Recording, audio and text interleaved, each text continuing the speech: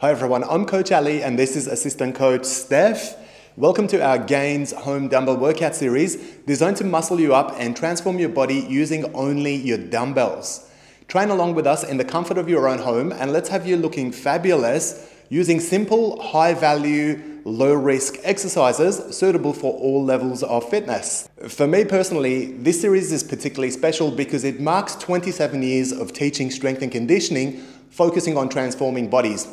Today's Gains Home Dumbbell workout will focus on your back, mainly your lats and rhomboids in your upper to middle back, plus your erectors in your lower back. We'll also train your biceps since they work as the secondary muscles during your back workout. In this series, your strength exercises will include three sets of 12 repetitions. Make sure that your dumbbells are heavy enough so that the last couple of repetitions in each set are difficult to finish. If you complete your sets with ease, then make sure to select heavier dumbbells. Be sure to train to every workout in our Gains Dumbbell Workout series in the order we release them so that your workouts are aesthetic and effective. If you're looking to get lean and shredded, then simply add 15 to 20 minutes of mild cardio to the end of today's workout. If you have any questions about the program, then simply comment below and ask us. Before we get started, I wanted to give a big shout out to our channel members whose contribution enables us to produce workouts for everybody on YouTube. If you're interested in becoming a channel member and progressing past the first 10 workouts in this series, then be sure to hit the blue join icon and let us take your body transformation to the next level. If you're new to the channel, then don't forget to hit the subscribe button so that you can stay accountable and on track. Now, that's enough talking from us. Let's get started with our Gains Home Dumbbell Workout Series. Let's go.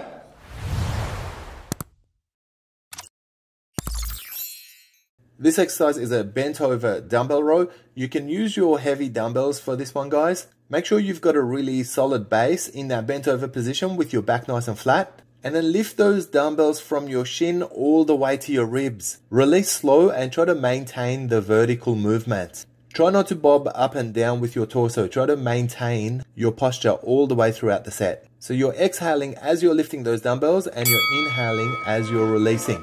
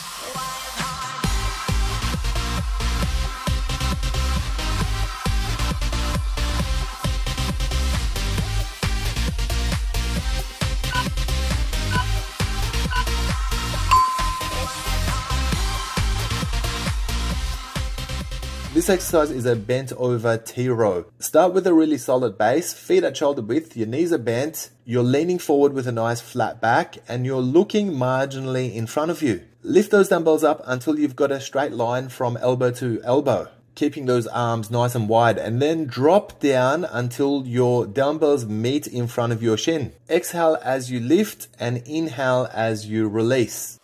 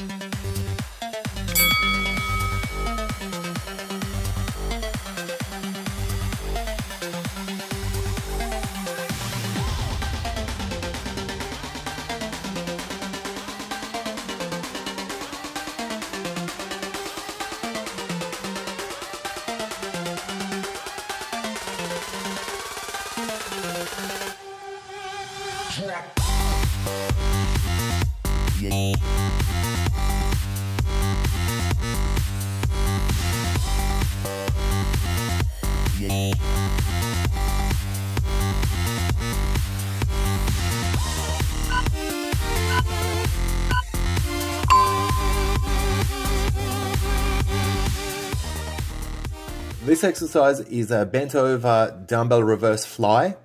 Start in that bent over position, making sure that your back is nice and flat.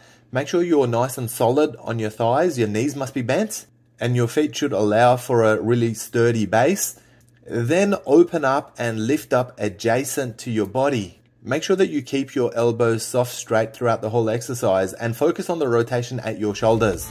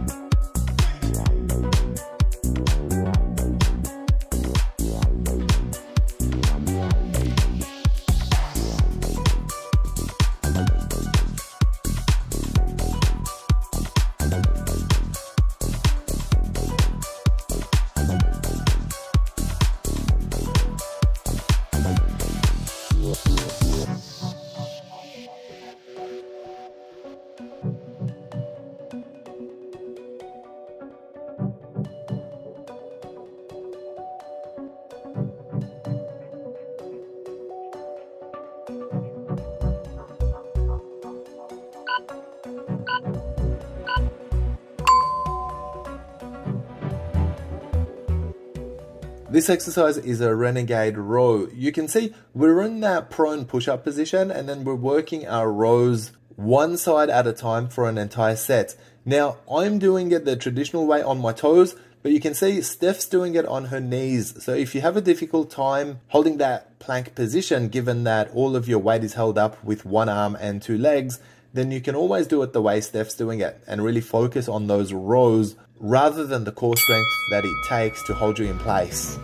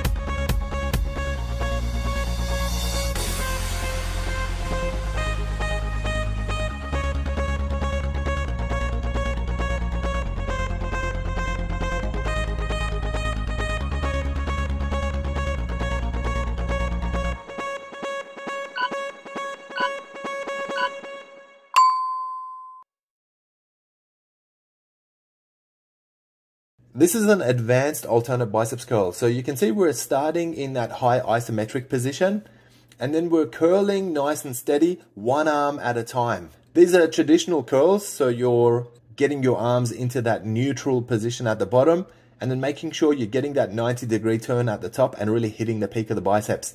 This is a fantastic time under tension method of working bicep curls. Try to keep your elbows as static as you can keep them and make sure that there's no movement in the torso.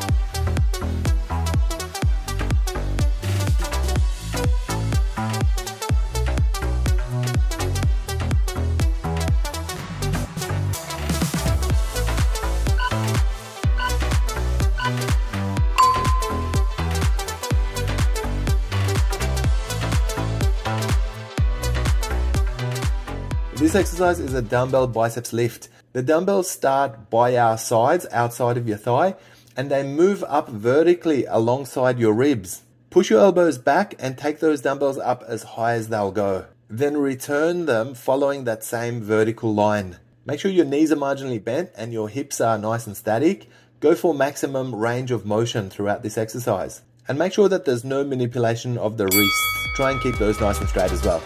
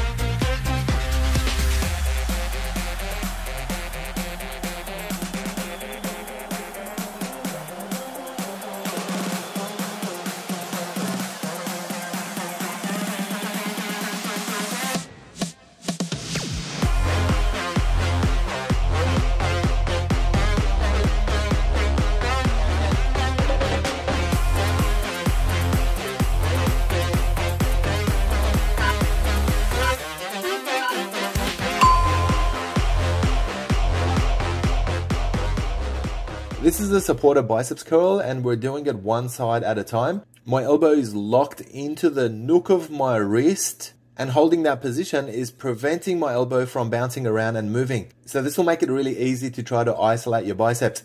Make sure that you're getting full range of movement and make sure you're releasing nice and slow. Focus on keeping your hips still because it's very easy to push forward with your hips and assist your movement, but we want to make sure that we're not doing that.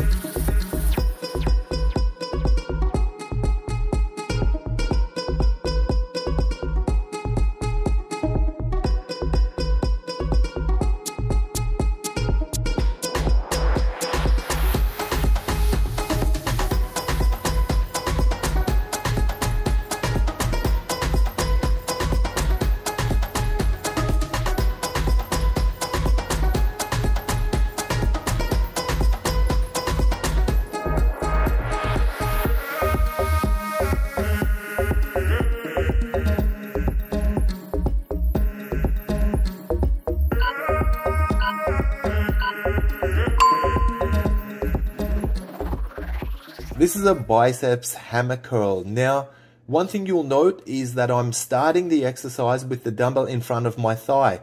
A lot of people will do this from beside them and it'll build up a lot of momentum before you actually get into the hammer curl. By cutting that out, we're focusing purely on the muscular movements and it's going to give you a much better workout for your lateral biceps. Make sure that the elbows remain nice and static and make sure that you're not moving your hips either.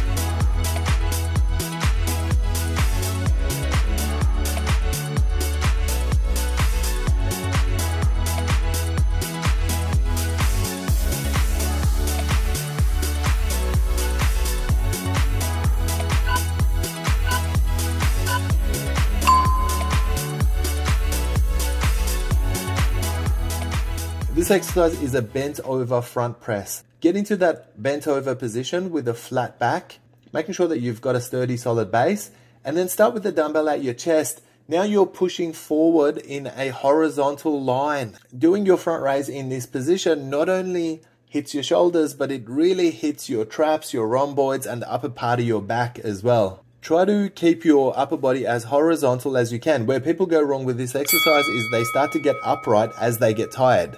Let's try to avoid that.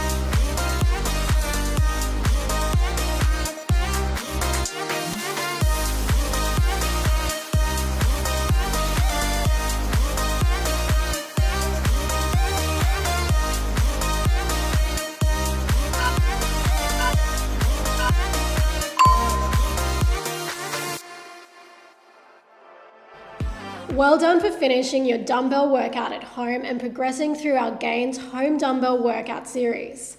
If you enjoyed your workout with us, then please give us a thumbs up and make sure that you subscribe to our channel so that you don't miss the next workout in this series. If you're done working out, then you should move on to post workout stretching and cool down with our physio Daphne. There's a link of her stretching playlist at the end of this video, so be sure to check it out. As always, thank you for training with Coach Ali and I. We look forward to bringing you another Gains Home Dumbbell workout shortly. Take care of yourselves and each other.